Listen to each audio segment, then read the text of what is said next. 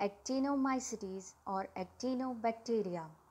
Actinomycetes are gram-positive, rod-shaped and spore-forming bacteria.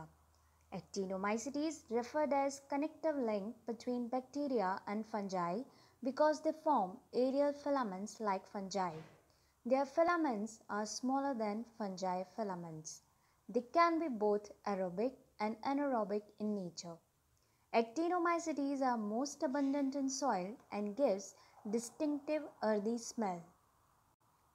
Actinomycetes fix nitrogen in soil via having symbiotic relationship with plants.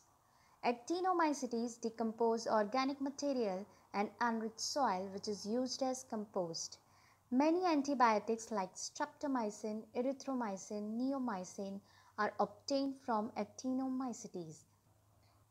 Genus Actinomycetes are common member of human oral cavities and occasionally cause infection in oral mucosa.